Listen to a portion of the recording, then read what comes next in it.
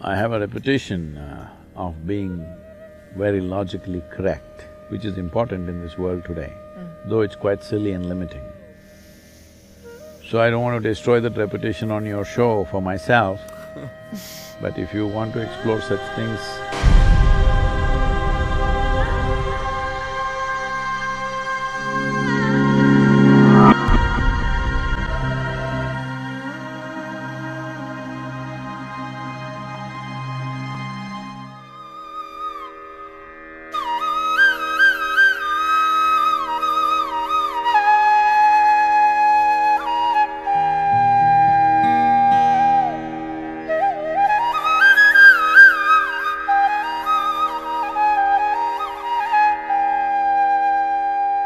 Namaskaram, namaskaram both of you, blue and red. Thank you. Hello, you beautiful bluebirds, and welcome back to another episode of Deja Blue. And currently, I am hosting today's episode with my beloved Andre, and we have taken it rogue. We are out in the Mojave Desert, and truly an honor, completely amazed that I am going to announce that I am currently, and we are currently sitting with a mystic, a yogi, a visionary, a New York Times best-selling author, also the founder of Isha Foundation, which is a foundation that is run by approximately 11 million volunteers worldwide. This man has spoken at the United Nations as well as many other prolific platforms all across the globe. And also simultaneously, this man has impacted mine and Andre's life in the most profound way, supporting us to cultivate inner joy through inner engineering and a devotion to our practice. It is an honor, and I am truly humbled to introduce to you on Deja Blue, Mr. Sadhguru. Namaskaram. And you guys are looking like a dangerous election campaign, red and blue blue and red rather. You shouldn't be together at this time, at least for another next twenty days. That's why we're out in the desert. Stay away from the masses. Please tell me. So thank you, thank you, thank you so much. I want to start off by asking you uh, a question. After reading um, Inner Engineering, a guy, a yogi's guide to joy, you mentioned that Has it worked? Are you a little more joyful? For sure. It- For sure. it's dramatically changed my life. Like the morning practice and just cultivating that morning practice in the morning has exponentially elevated my frequency. Therefore, everything that I have touched from that place has felt like it's been like the Midas touch. And it is cultivated over a, a period of time and devotion. And Ah, no, no, Midas, Midas did only magic. huh? This is mysticism, huh? this is real. That- this is not stage managed. Yeah. See, in the open desert also it works. do you believe that magic is not real? When you use the word magic, usually it's on stage, set up. But life is a different kind of magic, it's mystical. So this doesn't need a stage. The very cosmos is a stage, it's happening in various ways. So, in the book, you mentioned that the word spirituality or spiritualism um, has been corrupted. I'm curious, from your perspective, what is true spirituality? Well, let me give a very technical kind of uh, answer to this, because uh, if you say anything more poetic, people will distort it again. So this is one reason why, though it is natural for me to express myself in poetry in beautiful ways, which I did at one time, but when I saw that if I want to reach the world in a big way, I have to make it very technical, take off all the aesthetic, take off all the beauty, which I still do in closed programs and in closed events. But the larger world, we presented this as inner engineering, because you can't distort engineering, it either works or it doesn't work, making it that simple, okay? Poetry, art, beautiful, but will everybody get it is a big issue, okay? So having said that, a technical, absolutely technical definition of spiritual process would be this. There is a physiological process which you call as the body. There is a psychological process of thought and emotion going on. If you transcend these two, if somehow your experience of life transcend these two, that an experience which is not body-based, an experience which is not of the psychological structure, if this happens, then you are spiritual because something beyond body and mind has happened. Why is it important that something beyond body and mind should happen is because both your body and mind are accumulations that you gathered and you're mistaking it for a cosmos. What you created is not the creation per se. So there is a creation, there is a force called creation, which is uh, not that creation happened at some time, it's happening in a tremendous way every moment of our life. But only few people are conscious of it. Rest are busy with their physiological and psychological processes. Their entire life is dedicated to manage their body and their mind. When I come to America, particularly California, I'm amazed after living here, uh, you know, affluent lives, still the most fascinating thing for most people is food. Mm. It's I'm sorry Still food is the most interesting and fascinating thing and even among whatever we speak and do, unfortunately, what is the cookbook called, I'm sorry? Uh, Taste of Isha. Okay. I… we made a book called Taste of Isha. That's the highest selling damn book. this is the human tragedy. Okay. I can understand a man who is living in the desert who's hungry, who's not eaten anything other than lizard meat.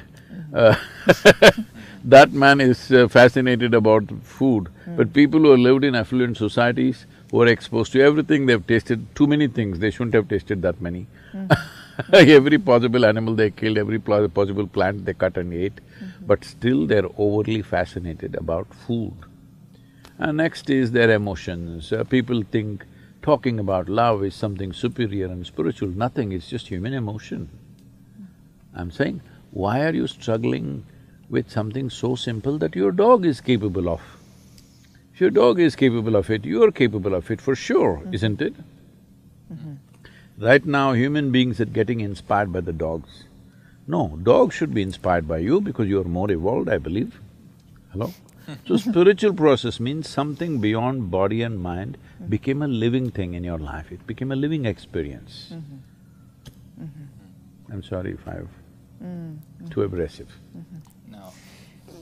I'm curious actually, uh, your perception on water fasting or fasting and taking prolonged See, she went to food directly. okay, fasting, not food, good. it's the opposite of food. it's time away from food and the benefits, if you believe there are any benefits from allowing ourselves to take a reset and to renegotiate our relationship with food. See, uh, This happened in Los Angeles. A cardiac surgeon drove his… Uh, he was little fascinated with his Ford Mustang. That was his car and he was a little excited about it and uh, one day it started coughing a little bit. So he took it to the local mechanic and said, some problem, please fix it. He said, yeah, doc, come tomorrow morning, it'll be ready. The doctor, before going to work tomorrow morning, he went there, but it was not ready. So he said, okay, come in the evening, it'll be ready. He came in the evening, it was not ready. Said, what's the matter? You said morning, I came. He said evening, I came, what is the issue? And the mechanic was in that kind of mood, he said, see, you're a heart surgeon, you also fix engines, I also fix engines. How come you're paid ten times more than me? So the doctor looked, him, looked at him and said, try to fix the engine when it's running, let me see. So human life and human body needs to be fixed when it's running. otherwise it's meaningless. All right, you're going to postmortem What's the point of that? We need to fix this body when it's running. If you want to fix this body when it's running, you must understand, because we're talking about something related to digestive process, these are the stages of this ingestion, putting something inside, digestion, assimilation, excretion. These are four dimensions of food and the whole process. Ingestion, digestion, assimilation, excretion. Ingestion is happening in today's world just about any time, wherever they are, sitting, standing, any time of the day or night, people just eat because there's so much food. It was not like this ever in the history of humanity. But unfortunately, fortunately there is a lot of food, unfortunately people don't know when to eat, when not to eat. As there are cycles in time, see we know time only by cycles. If the planet spins one like this, one spin, we say it's a day. Otherwise you wouldn't know. If the moon goes around, we say one month. If we go around the sun, then we say one year. So our idea of time is essentially cycles. Our birth and death is also question of cycles. Only because our mother's bodies were in sync with the cycles of the moon, we are even born, otherwise we wouldn't be born. So our whole physical existence is cyclical. The entire spiritual process, we could go into that if you wish, essentially is significant because it's not cyclical. Because cyclical means you're going in circles. If I say you're going in circles, what does it imply? You're in a loop. You're not getting anywhere. Yeah. Mm-hmm. Usually if I leave you in desert where here there are some mountains, if there are no features, it's just sand, then people end up going in circles. That means you're not getting anywhere, that means you're lost. So the moment you are completely identified with your body and your psychological structure, you will start going in cycles. So in India, it's… in the yogic uh, culture, it's very, very clear, this is called as samsara, that means cyclical life. So cyclical life, as good a merry-go-round it may be, you know, if you arrange it well, it's a good merry-go-round, mm -hmm. but you're not getting anywhere. Mm -hmm. Children can enjoy a merry-go-round. If all the adults are sitting in the merry-go-round and going round and round thinking they're traveling, oh, very tragic, isn't it? Mm. So that's what happens. So the body is a cycle. These cycles are very connected with the planetary cycles, with the moon cycle, with the sun cycle, everything. Lunar cycle, solar cycles and the earth cycles are very important for the body. Mm -hmm. If one has the necessary awareness, they could observe on which day your body doesn't need food. Every other creature knows this. Unfortunately, human beings have forgotten because their thought process or their silly mind has superimposed every other sense they have in their system. Mm. If you observe your system, you will see on a particular day, you don't feel like eating. Mm. That day you should not eat. But no, you're at your friend's house, there is a party, you stuff yourself, even if your body says no, you stuff yourself. You see all the animals, even if you have a dog at home, on a certain day, he refuses to eat both dogs and cats. Have you noticed this? Mm -hmm. He will go and eat some blades of grass if it's available and puke and cleanses himself because he is conscious that ingestion is continuously happening, but digestion and excretion is not as efficient as ingestion. Mm. Ingestion is happening compulsively, but other parts need to work. Mm -hmm. Other dimensions of digestive process needs to work. When we say digestion, digestion happens in the whole alimentary canal, not just in the stomach. Mm -hmm. And assimilation also happens across the entire alimentary canal.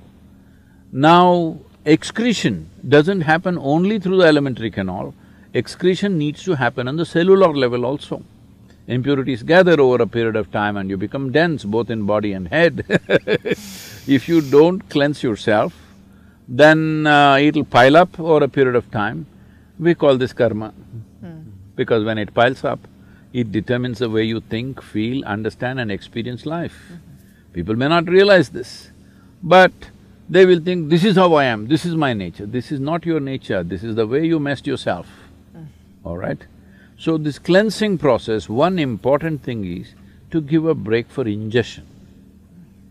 Because other systems are largely involuntarily, you can stimulate them, but they're involuntary, they're functioning. Ingestion is a voluntary process, though unfortunately for most people it's become compulsive. It should be a voluntary process, that is, I eat when I want to eat. When I decide I want to eat, I will eat. Mm-hmm. My hand doesn't decide when to eat. If there's anything, anything, you know, people are doing this all the time I relate. I think if we leave a bunch of good chocolates around you, your hand will eat, not you. Mm. Mm. so ingestion should be a conscious process. Mm. To bring this consciousness, there are many methods. One is fasting. Mm-hmm. Simply denying yourself food and water could cause damage to the system. You must support it with the necessary practices. If you have the necessary practices, the need for food will come down. See, our energies are not coming only from the food that we eat. The sunlight, the air, the water, actually, if you… in the yogic sciences, we say, if you really keep your system well, sixty to seventy percent of your energy should come from these three factors, sunlight, air, water. Another forty percent should come from the food that you eat. So naturally, food, amount volume of food, food that you eat will compress. I must tell you about myself. When I was young, I'm a big eater. I never became big because my activity was immense. Mm-hmm. But today what I eat is actually one-tenth or less than one-tenth of what I used to eat at that time. From the age of nineteen till now, I'm still the same weight, same weight, mm-hmm. what I was at nineteen. Only thing is, at that time, all the weight was on my shoulders. now because of this gravity continuously working on me, kind of pulled it down a little bit. but I kept myself up So fasting as a process must be done with necessary understanding. If people don't have that awareness, in India we fixed the eleventh day of the moon cycle, you must fast. If you're not able to fast, you go on something very light, it's called phalahar. That means you go on fruit diet. Because fruit is a substance which is over ninety percent water and you must eat water, not drink water. This is the yogic science. Hmm. As far as possible, you eat water. You always be conscious about the food that you're eating, what is the water content. Like a South Indian meal, if you eat, a cooked meal I'm talking about, if you eat, very easily sixty, seventy percent water. Hmm. In fact, more. In some of the foods, it's much more.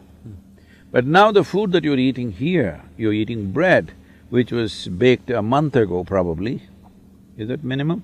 Even in so-called uh, organic shops, it's at least a month or at least a week. Yeah. Nobody is going and getting fresh bread and come and anyway, the way the bread is baked, it doesn't have water in it, very, very little water. So of course you're uh, compensating that with uh, a bucket of Coca-Cola or something like that. All right? Yeah. I said a bucket, A not bucket a is, is a good amount of Coca-Cola. glass. Where is this big? Yeah. So, uh, but that doesn't work like that.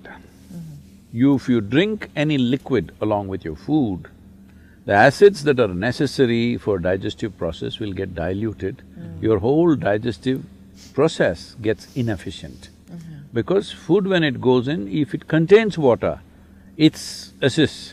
But if you put any liquid on top of it, you will see the food will remain in the stomach bag for too long. Mm. We are very concerned about this always in the yogic uh, culture and life, that we don't want food to remain in our stomach bag for more than two and a half hours maximum. In two and a half hours' time, it doesn't matter what I've eaten, how much I've eaten, it must go into other parts. If it remains there, it makes you dull. Hmm. It makes you lose your sense of perception.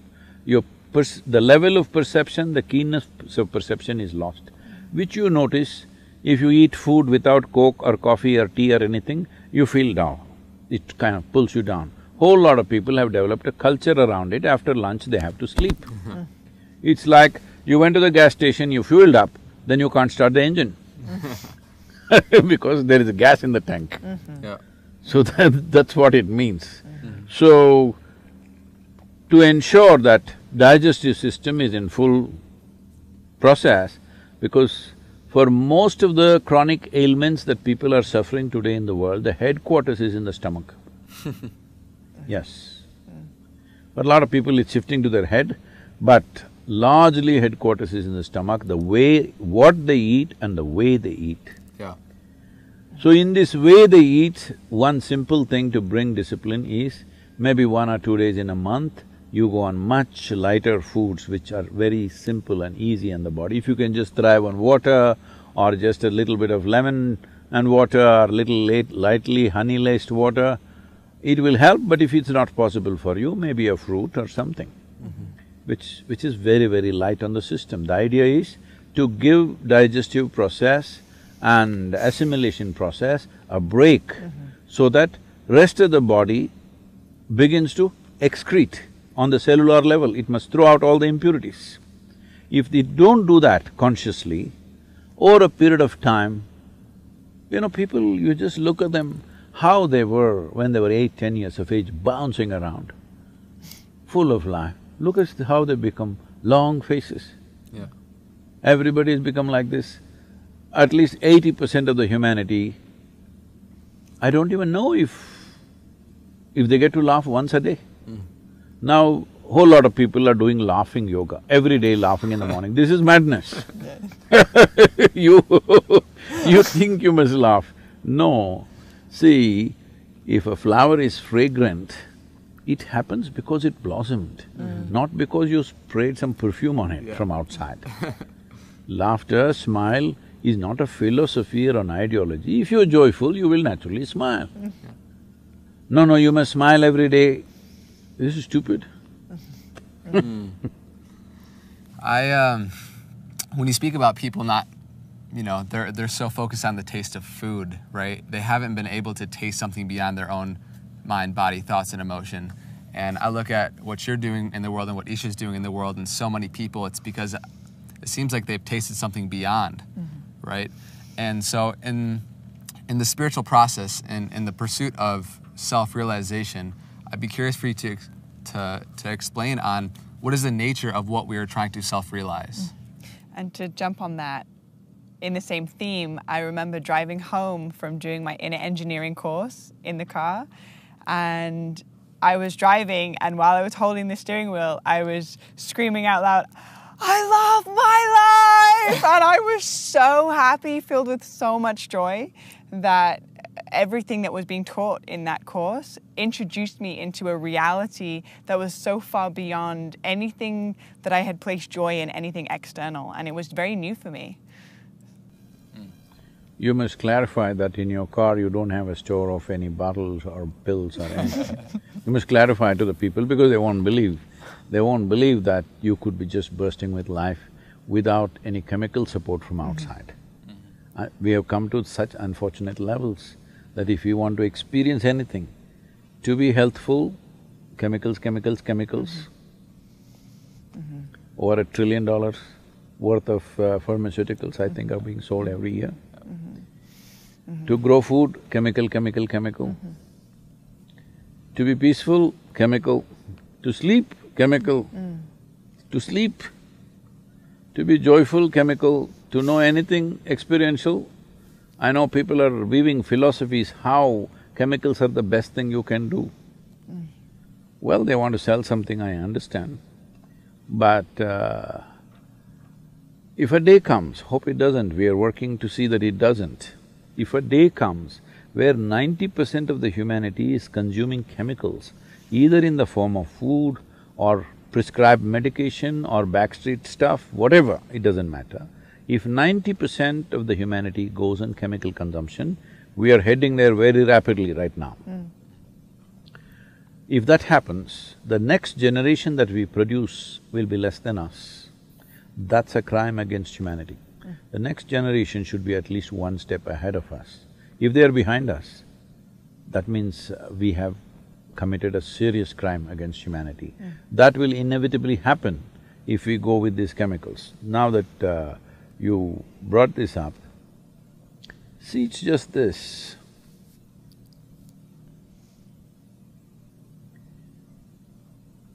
There is no other phenomena here other than life. But unfortunately, you think the madness in your mind is a phenomena. It's not a phenomena, it's a sil silly recycle of the same old things, all right? Now, uh, people taking drugs, the word that they use is they were experimenting. What the hell are you experimenting? People who are involved in sexuality, they're experimenting. I say even the caveman knew what to do, all right? Except Mr. Adam, everybody else knew what to do. What are you experimenting now? Mm-hmm. Something that's been on for thousands of years, if you experiment with that now, that means you must be dumb stupid. It's all been experimented, isn't it? Mm-hmm. Now, experimentation means you tr try to enter new terrain mm. that nobody has gone into, right? Mm-hmm. Hello? If you go into this desert, like Columbus found America, well, fifty million people were living here, what is there to find? Okay, for Europeans, you found a new continent, that's a different matter. But you cannot discover something which is already known to lots of people. You cannot explore, say you say, I'm… I explored this desert, but you go there, whole lot of people are living there, what is there for you to explore? They've all been there, all right? We are ignoring the other creatures. All right, I'll give you that much margin. But if there are human beings, obviously you are not the explorer. But explorers went to Africa and explored Africa and they found uh, people who they did not treat as people anyway. Why I'm saying this is, this is not to uh, incite something, all I'm saying is, stop this rubbish. People have been living in different places. Because as our transportation systems of uh, ships and other things improved, we made connections, all right? You, if you say Columbus connected Europe to America, wonderful. He discovered, how can he discover? So like this, people are experimenting things which have been happening for thousands of years. Doesn't mean a thing. If you really want to experiment, you must step into a new terrain. If you want to step into new terrain, I am telling you, even the caveman knew every damn thing you can do with your body. I, I include the cave woman, but that's a term, you know. Yeah.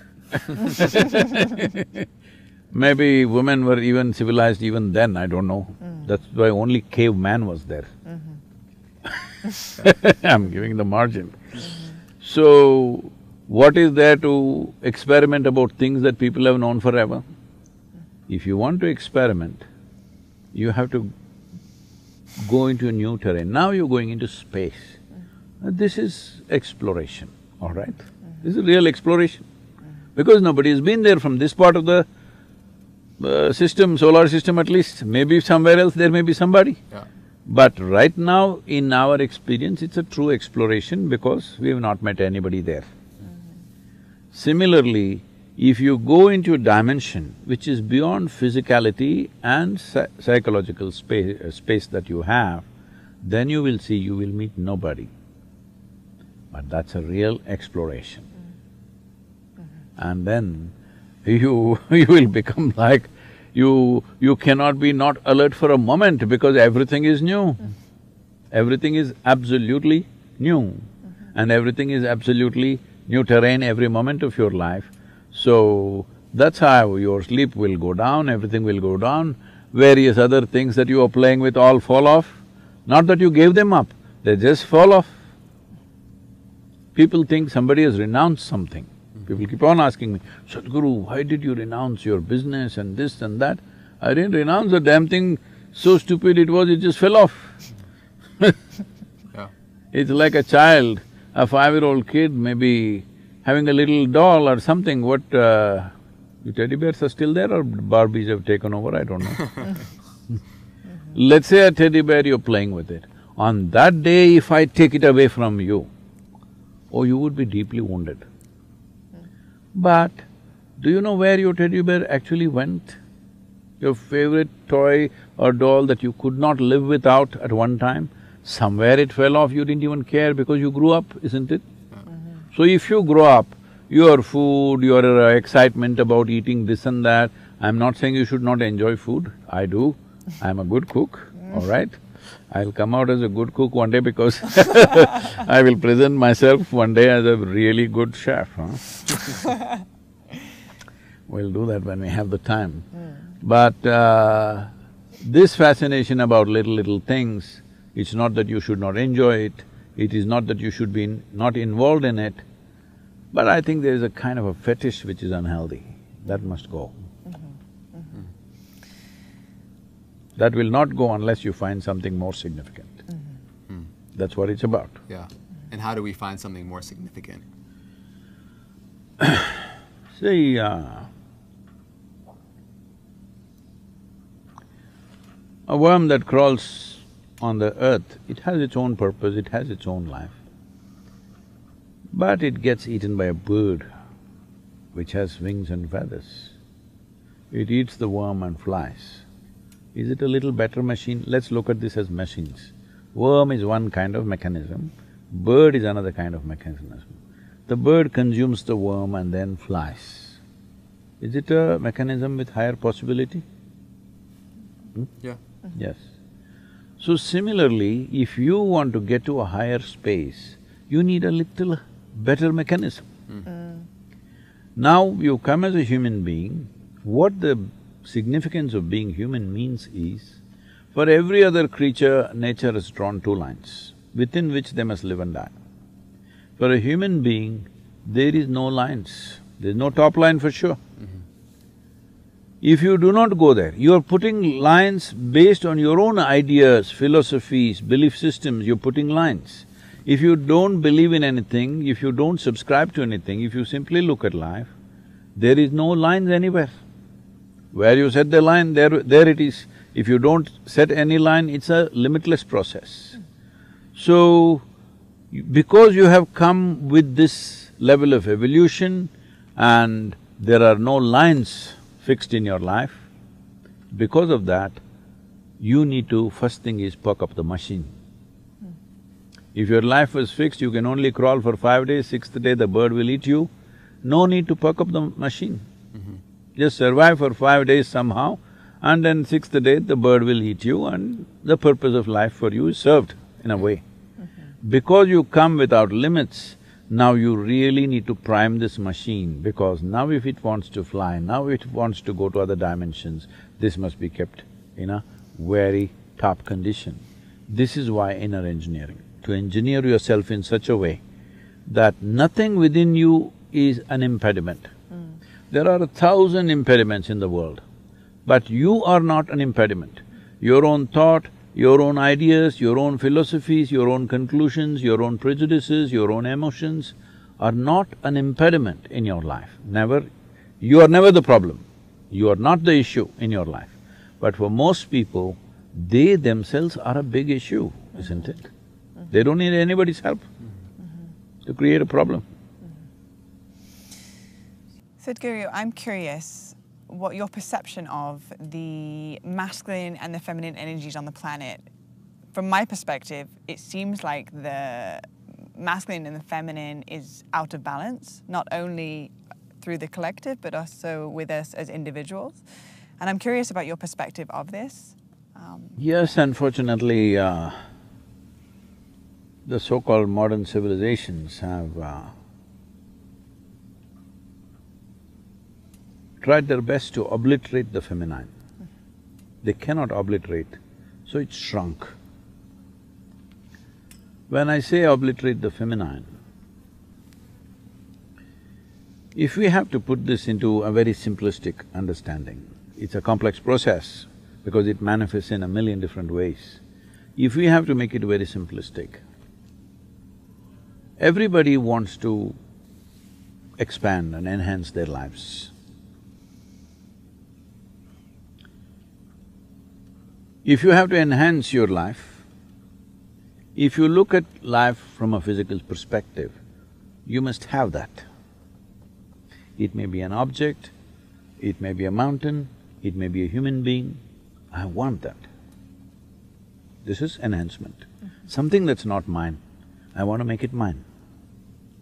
There are two ways to do this, either by conquest or by inclusion. So, inclusion comes from the dimension of feminine. Mm-hmm. Conquest is very masculine. We can use this context to look at everything. There are many, many other more beautiful ways to look at it. Day after tomorrow, the Navaratri starts in India, nine nights. It's completely dedicated to the feminine. Mm. It's a big festival across the country, so much cultural events and things, even in our yoga center, mm. nine days of celebrations. This time, people are not allowed, it's all online, but celebrations, music, dance, everything is happening. This is a time, whether you're a man or a woman, you do all the feminine things. Men will go out and make designs on the floor, they will sing, they will dance, they will make music, because the idea is, this time is coming after the… Mm, this autumn equinox, this is the time of the feminine. So it is celebrated in a big way, nine days, there are nine different types of goddesses. Fierce ones, terrible ones, beautiful ones, compassionate ones, very strong ones, all kinds. So if you look at many goddesses in India, this is something we must… Uh, uh, which is completely missing anywhere else in the world is, many of our goddesses are like uh, Rakini, Dakini, Lankini, Chandi, Chamundi, Chinnamasta, Kali, like this, if you look at them, they are fierce, blood dripping out of their mouths and, you know, human skulls hanging around their neck and all that kind of imagery. Why this is done is because a whole lot of times, right through history of humanity, when a woman gets little strong, she is always experienced like this. She's troubled, she must be beaten, she must be burnt at the stake. Mm-hmm. All this happened because she exhibited certain strength and it comes out in a certain way. So normally the term that is used in English, she's… she literally bites your head off. So those ladies, the Indian goddesses, literally bite your head off, not metaphorically. But they're worshipped because the understanding is this, that what human competence is, what human intelligence is, what human genius is, need not be surrendered at the altar of good behavior. Mm. Mm-hmm. Good behavior, you can train your puppy for good behavior. Mm-hmm. The important thing about the human being in this limited amount of time and s- uh, energy that we have, the highest possible genius should find expression. How it finds expression, we don't know. But that is more important than good behavior. This is why these goddesses are worshipped, they are not good behavior, for sure. But they have a certain power, they have a certain genius, they have a certain capability. So you never surrender those things which will transform life for good behavior, which is just a pretension. There- This is not a license for you to behave whichever way you want.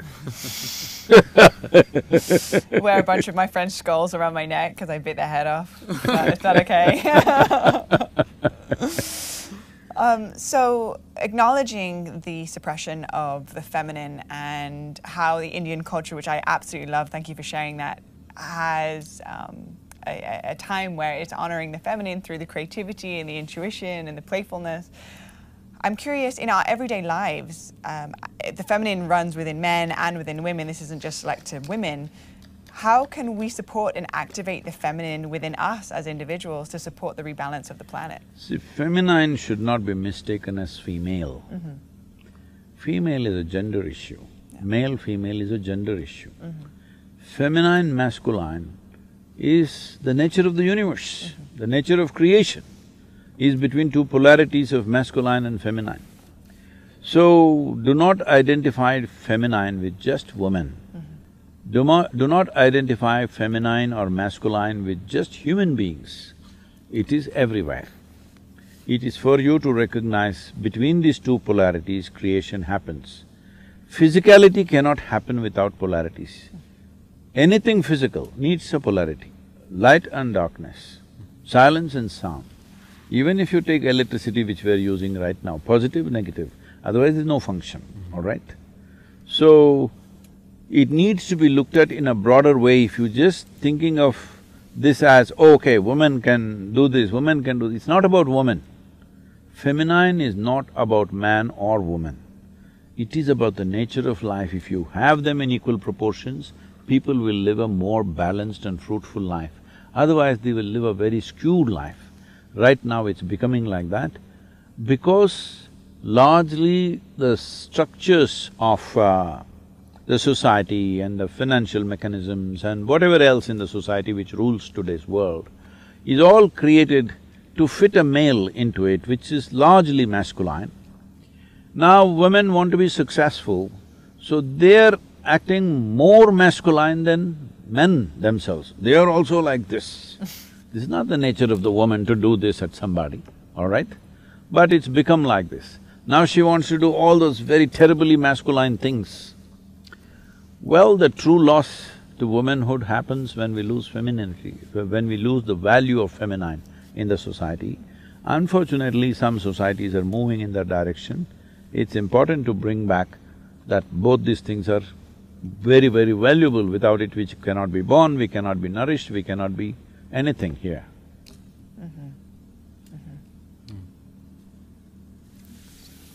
Yeah. Uh, just switching gears, just because of the limited time we have, I after reading Mystic's Musings and hearing about your encountered with encounters with disembodied beings and you know things that sound like they're in a fairy tale, I'm very interested and curious if one, you know, your thoughts on extraterrestrial life, and if you've been in contact with any. Or maybe you are one, who knows? Maybe. Maybe that is a better question.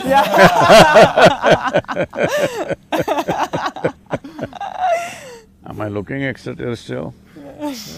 I'm a little extra on the terror right well, I have a reputation uh, of being very logically correct, which is important in this world today, though it's quite silly and limiting.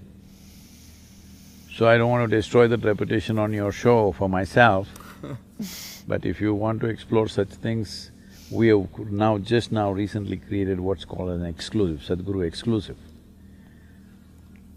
This is to explore those dimensions which don't fit into your logic.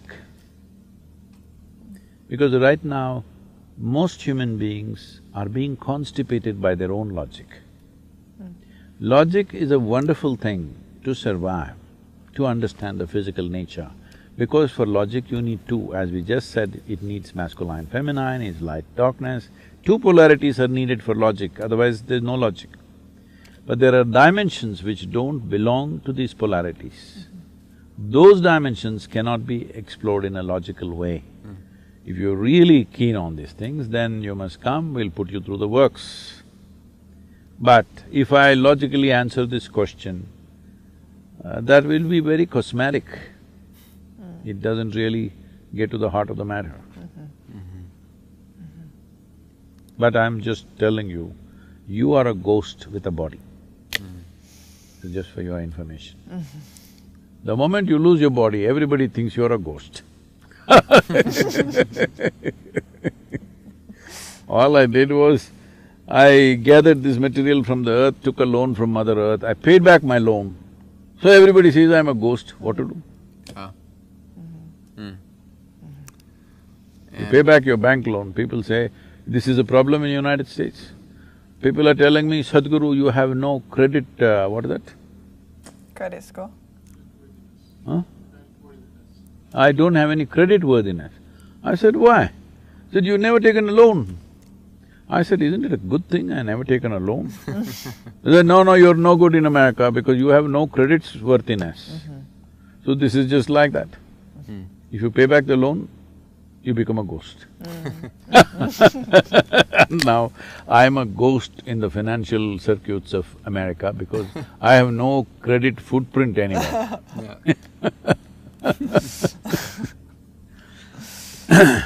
I think why we get along very well is because we have a similar desire of on the spiritual path of self-realization. And if we are ghosts with a body, we want to come to know that experientially for ourselves. And so, yeah, I humbly ask, uh, how? How can we come to know that? Is it a matter of raising our energies to a certain level to then experience that, or what would that be? Yes, above all, see, as I said, uh, what spirituality, the first question she asked, what spirituality means is, your experience of life is beyond your physiological and psychological processes. That means your experience, your ghostliness. We can call it your spirit, all right? We can call it your spirit, we can call it uh, whatever you want, but there is just vocabulary. Essentially, you're experiencing something beyond your physical nature. That's the important thing. And anyway, uh, this is some unsolicited advice I'm giving you. It's up to you what you do with that. Mm-hmm. Please. You wearing rings on your thumbs is a very wrong thing to do. Mm. Metal on your thumb will bring that kind of energies to you that you cannot handle. Mm. You should not put metal on your thumbs. Mm. And so when you say it brings energy to you, that, you That can- means maximum you can only wear eight rings. Otherwise, you can go the Indian way and add another eight to the toes. there also you must leave the big one. This is everything that Andre's actually told me. He's like, "Uh, I learned from uh, Sadhguru not to wear thumb rings, and I'm like, ah, it's fine, but it hits slightly different when the man himself uh, shares it with me. um, all right. Well, with that being said, I'm just going to take these off real quick. And See, I am making it less expensive for you. Yeah. Thank you, Sadhguru. Two rings less Two you have to rings buy. I thought you had a very interesting question for people that are on the spiritual path that Yeah. people just, you know, with their families is very difficult. So, something I have witnessed within my own personal experience and simultaneously within my audience, specifically through Deja Blue, is a child choosing their spiritual path, which is not necessarily in alignment with the family uh, ancestry or, or the morals of the family.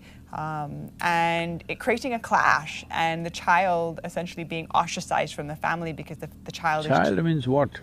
An, an infant or a No, no. toddler? like a, essentially the child of the parents. So Okay. I would still be a, a child of my parents. Okay. However, I'm 30 years old. Um, Oh, you didn't have to confess like that. I was thinking you were sixteen. You're 30. Yeah. um, so almost 30. I don't usually handle confessions, so it's all right. you you fit the part, truly. So I'm just curious um, if you had advice or some guidance around. See, as I said earlier, spiritual process is an exploration of new terrain. Mm-hmm. Now I'm your grandfather and I tell you, you must only explore what I have explored. The man is a nonsense, all right? Mm-hmm. Hello? yeah. Mm-hmm. You must explore what I have explored. This is like everybody experimenting with sexuality. When the caveman also knew what to do, all right? Even Mr. Adam needed just a bite on the apple, that is simple. But you must experiment. What is there to experiment or explore? No, everybody knows what it is. So, exploration cannot be the way your grandfather did it, that's not exploration, that's a farce, mm. all right? You just have to believe, that's the only way. This has happened because very dogmatic approach to relief, I mean to religions. Mm-hmm. So, it's extremely important that, and it'll anyway happen, in the next fifty years' time, it is important that the world moves from religion to responsibility for all the problems that we are creating on the planet. The only solution, including for the pandemic, is responsible action, isn't it? Right now, responsibility is there. No, responsibility needs to come here. Hmm. If this happens, all these problems are gone. And anyway, from whatever one or two thousand years old, people have been always modifying it the way they like it. Most religions say no divorce. Well, people are divorcing right, left, center, all right. Uh, many, many other things. Whatever was said, thou shalt not, is a full-time transaction right now on various levels.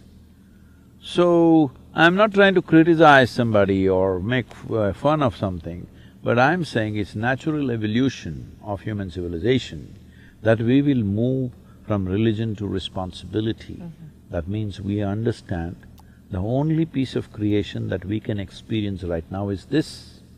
And the only doorway to the Creator is this. There is no other doorway anywhere. Even if it's there, you cannot experience it, I'm saying. Maybe there is a doorway in this little desert flower, but you cannot experience it, right? You can only experience what happens within you. So don't try to condition and control what happens within me. What I do in the society needs some control because others are involved. What happens within me, don't ever try to control and condition this because it's nobody's concern what happens within me. Mm -hmm. When I say what happens within me, I'm not just talking about physiological and psycho psychological stuff.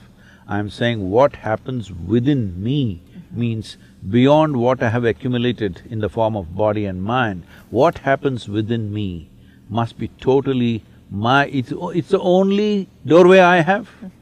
If I have to open anything, it has to open up in my experience. Is there some other way? There is simply no other way. So what happens within me must be left untouched. That is the worst kind of contamination that can happen in a civilization, is people are concerned about what is happening within you. They should not be. How I behave in the world, yes, they should be because it concerns everybody else. What happens within me is nobody's business. What happens in my body may be somebody's business because if you do drugs, do this, that and you fall sick, we will have to take care of you. It's happening, right?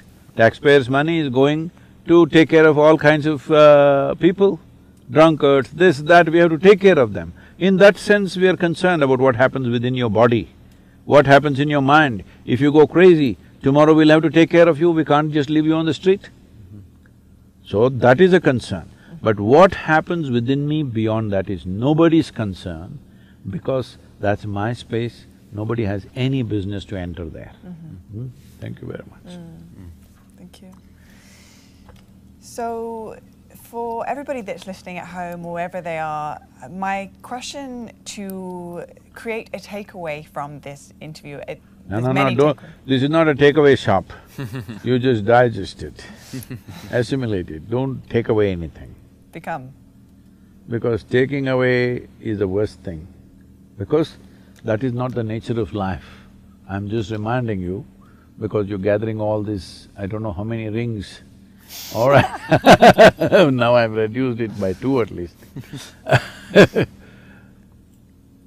At the end of our lives, when we die, there is no takeaway. Let everybody understand this. Mm. There is no container service that you can gather everything and go. So this is the nature of life, that there is no takeaway. So let there be no takeaway from this also. Namaskaram. Thank you. So to all of you beautiful bluebirds out there, thank you so much for tuning in and coming into this experience in the Mojave Desert with myself, Andre, and Sadhguru. What an honor, what a pleasure, and what a privilege. So grateful that you are here today on Deja Blue Podcast, and so grateful for you tuning in at home, wherever you are. May you feel seen and loved and supported and blessed in this moment. Blessing.